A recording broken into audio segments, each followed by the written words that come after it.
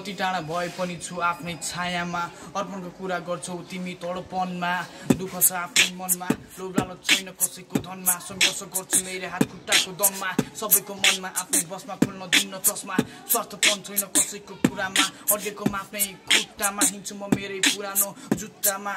छैन केहीको बाल फर्किआउँछु म अर्को साल हिपहप ऱ्यापको शब्द नै हुन्छ बबाल सबै चिजहरू छ कमाल तैँले आफूलाई सम्हाल सक्छस् भने बेलैमा सुध्री हाल बाटो त कति छ कति मैले जाने बाटो सधैँ हुन्छ किन गल्ती हाम्रो देशमा छ धेरै गाउँ घर र बस्ती त्यही नै छ मस्ती सिटा नै हो अन्धकारको ज्योति आँखामा लुकेको हुन्छ आँसुको मोती खुन पसिना एक गरेर खान्छु म बेलुका सादा रोटी